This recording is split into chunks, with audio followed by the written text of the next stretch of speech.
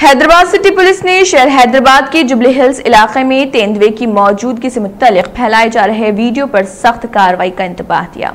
Police ने कहा कि हक की जाँच के बगैर इस तरह की वीडियो फैलाई जा रही है। सोशल मीडिया के मुख्तलिफ़ प्लेटफॉर्म्स पर बाज अफराद ने यह वीडियो पोस्ट की, जिसमें दावा किया गया कि तेंदुआ रात के वक्त सड़क अबूर कर रहा है और ये मंजर जुबली हिल्स में वाक़ बिस्वा ताराकमा कैंसर अस्पताल की रोड का है। इस ताल्लुक से जब एक शख्स ने हैदराबाद सिटी पुलिस को ट्विटर पर यह वीडियो टैग किया तो पुलिस ने इस वीडियो की जाँच के बाद उस शख्स को इस ताल्लुक से इंतबाह दिया और इस वीडियो को हजफ कर दिया।